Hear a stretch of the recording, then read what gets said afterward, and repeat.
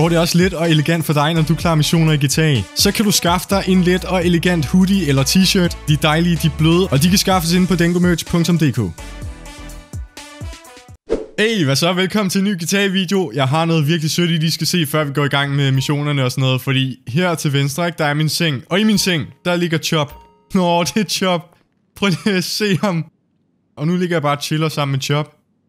Det er sgu da sødt, mand. Chop, du skal bare have lov til at blive liggende. Jeg håber til gengæld, at du er renlig, Chop, fordi det der sengetøj, det er helt nyvasket. Og her er den store computerafdeling, hvor det ser ud til, at folk er godt i gang med at arbejde med, hvad end de har gang i. Og det her, det er jo min hacker. Det er hende, der sidder og skaffer oplysninger på ting, som man ikke må skaffe oplysninger på og sådan noget. Hun har tre skærme, hun har styr på det hele. Hun er et geni til synladende, og så Franklin vil med hende, men det må I ikke sige til hende. So, you need something? Nej, nej, jeg står bare lige og tjekker ud, hvad du laver, men øh, jeg skal nok lade dig være, så vi ses. Yeah.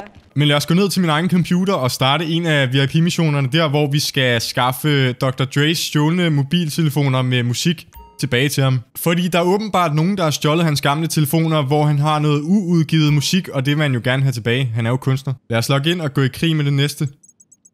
Så skal jeg lige have et opkald fra hende der, min hacker, før jeg kan få lov til at starte VIP-missioner. Så i mellemtiden, så kan jeg lige starte en sikkerhedskontrakt, som også giver 68.000 dollars for den der. Det er faktisk okay betaling. Nu skal jeg bare lige se, hvor lang tid det tager, og hvor svært det er. I forrige video, der bad jeg om forslag fra jer om, hvad hende der dame skulle hedde, fordi det der, det er Ole, det er min assistent, men jeg manglede et navn til hende der. Og der var et par stykker, der foreslog Pia. Det synes jeg er et godt navn til hende. Så du hedder hermed Pia. Tillykke med det. Pia, tak fordi du hjælper mig. Jeg håber, at vi kan få et godt fremtidigt samarbejde. Selvom jeg aldrig nogensinde har hørt dig sige noget til mig. Det kan stadig nås, Pia. Jeg ved ikke, hvor missionen er endnu, så det er altid godt lige at have en helikopter for en sikkerheds skyld fra starten, hvis man skal langt væk. Hvor er det Franklin? Okay, look, this client, one of the city top judges, Vanilla Unicorn. Jeg skal hen til noget, der hedder Vanilla Unicorn, altså vanilje enhjørning. Det lyder som stedet på en bar eller et eller andet.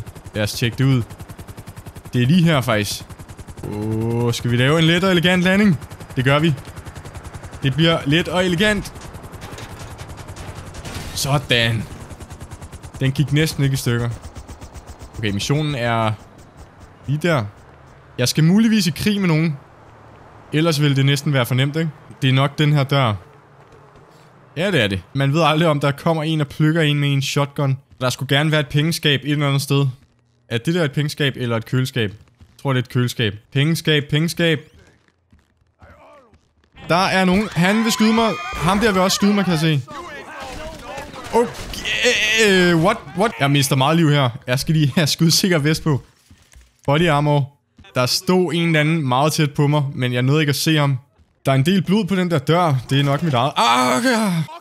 Okay, de, kan se mig igennem det der øh, tæppe, men det kan jeg ikke. Jeg er nødt til at gå en anden vej. Jeg går den her vej.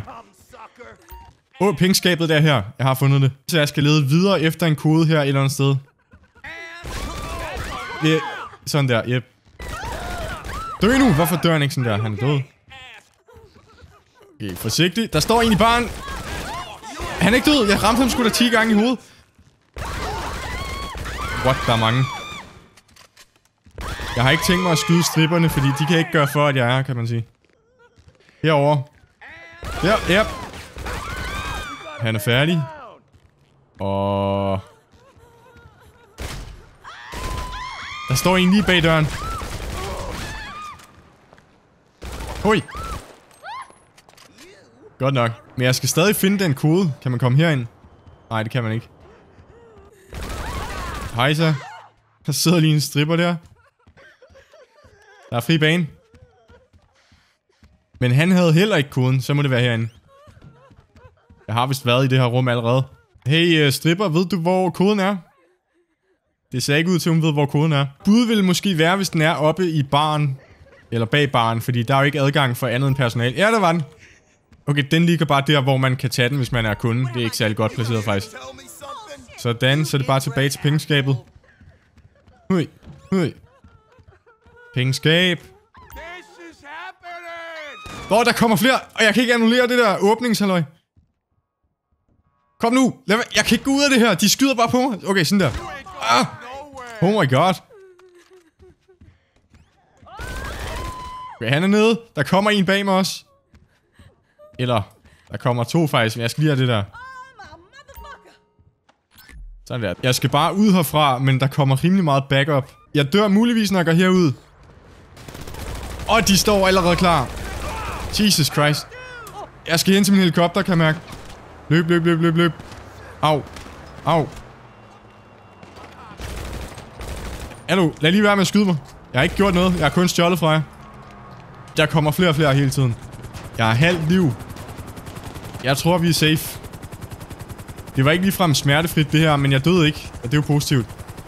Oj, jeg glemmer lige. Jeg kan jo ikke lande her, når jeg klarer en mission. Man skal altid lande nede foran, og så gå ind af hovedindgangen. Af en eller anden grund. Her.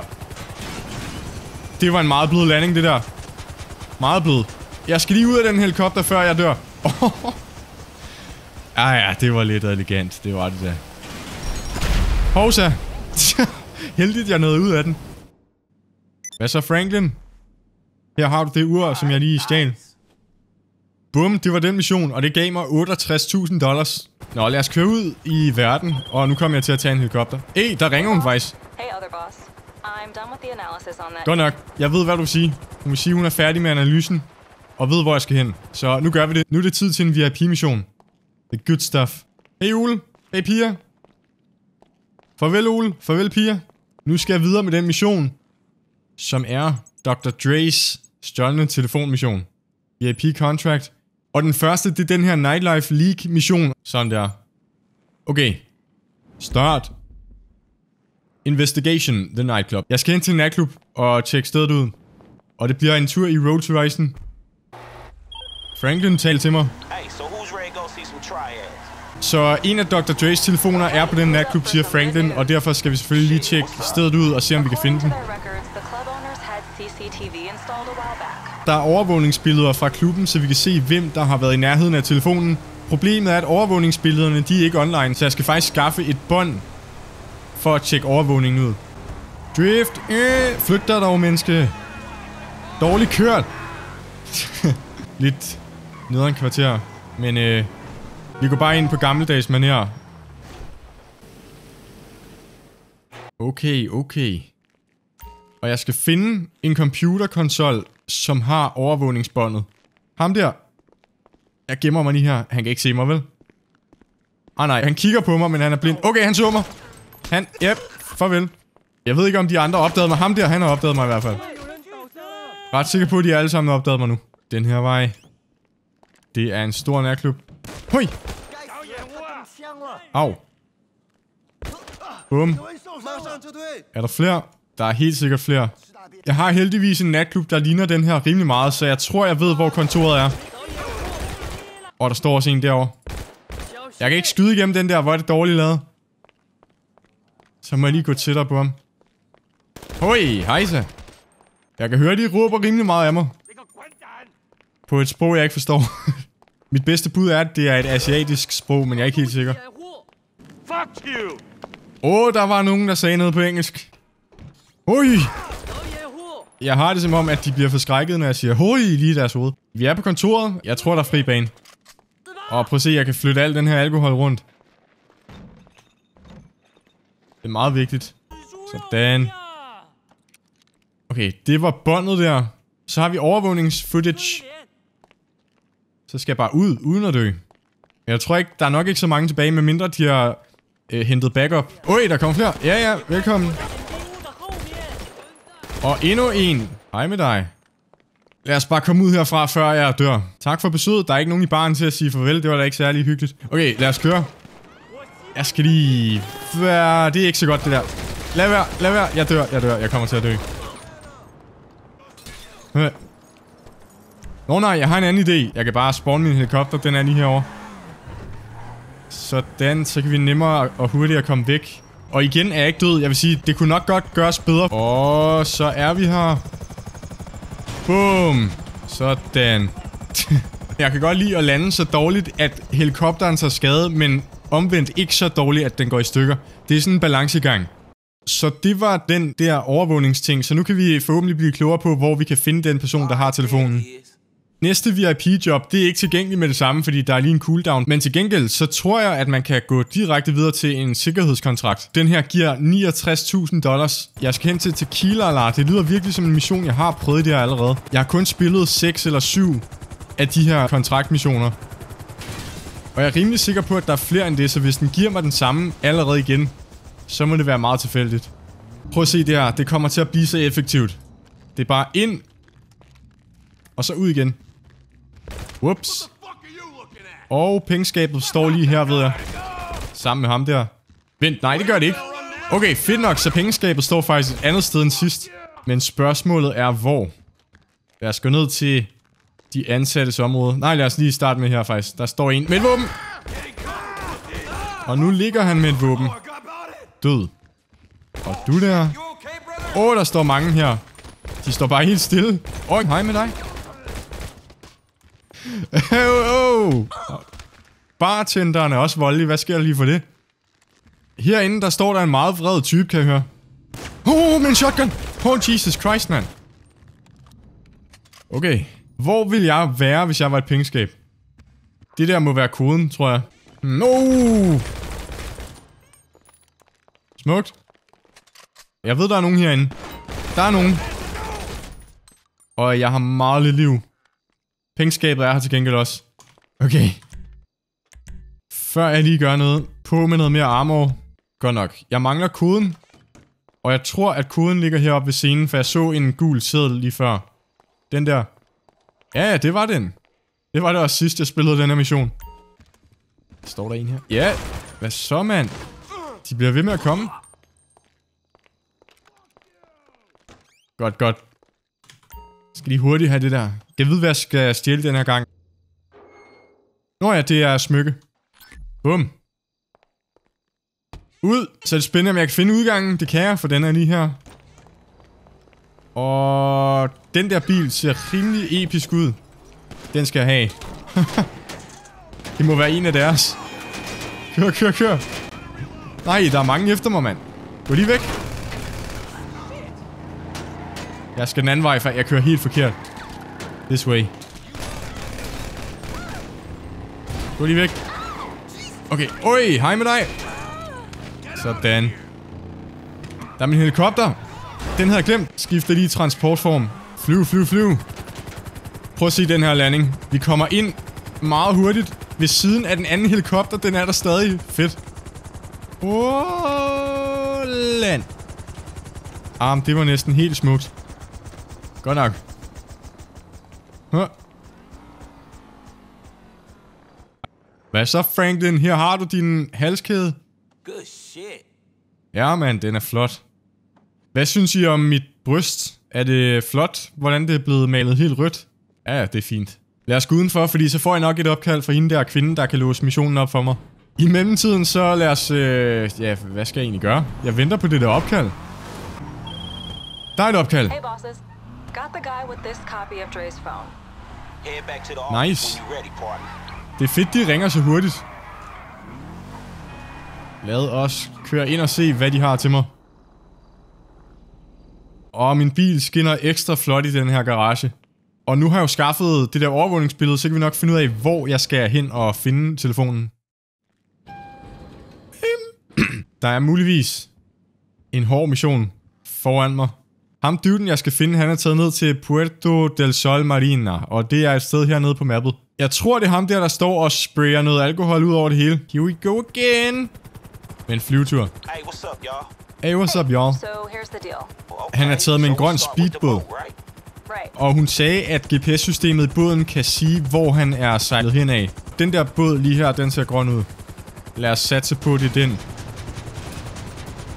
Ikke tage af det der. Det er bare lige en lygtepæl. Er det den her? Ja, det er den. Okay, den skal jeg så bare stjæle. Fedt. Det er sat med sjældent, jeg sejler i speedbåd i det her spil. Åh, oh, crap, der er fjender. De er selvfølgelig ikke særlig store fan af, at man stjæler andres både, det er klart. Åh, oh, jeg har fået en GPS-lokation her. Jeg skal helt derud. Okay, vi skal ud på en lang sejltur her. Og man kan også lige gøre sådan her. Wow. Hvis man faktisk bare stejler med båden så meget man kan, så er man også så hurtig, som man kan være. Sådan her. Wow. Uh, den flyver nærmest mere, end den sejler.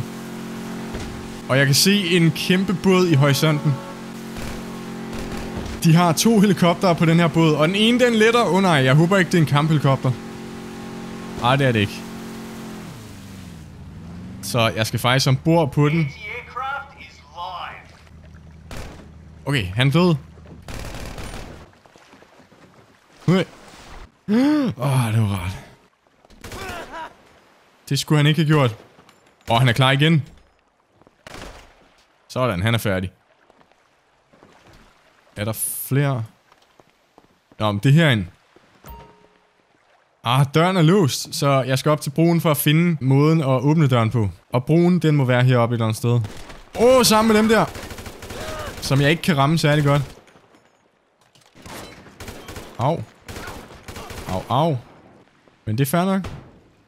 Okay, herinde står der helt sikkert en anden, der vil nakke mig. Det gør der. Uh, flere? Var det kaptajnen måske? Det der er kaptajnen. Han er ikke bevæbnet, så han må godt overleve. Jeg tror heller ikke, jeg kan nakke ham. Nå, okay. Sorry. det var virkelig dårlig stil af mig. Her kan jeg åbne døren. Bip, bup. Det åbnede døren. Åh, oh, helikopteren er klar til mig. Nice. Sådan en her båd er jeg nødt til selv at eje på et tidspunkt. Problemet er, at den koster hvor meget? 10 millioner med ekstra udstyr. Man kan muligvis også få en skrabet version for 6 millioner, jeg er ikke helt sikker. Øh, au. Jeg skulle ikke engang forlade båden. Jeg læste ikke, hvad der stod i bunden. Jeg skal ombord igen. Så gør vi sådan her. Ah, troede lige, jeg kunne flyve op. Sådan. Det er, hvad der kan ske. Nå, okay, jeg skal finde nogle beviser først. Og beviser, dem vil jeg så finde. Øh... Hvor er I? Dø nu! Okay, han har meget liv. Det har de alle sammen nærmest. Med mindre man rammer de helt rigtige steder. Fed bar! Den her båd, den er bare virkelig lækker jo.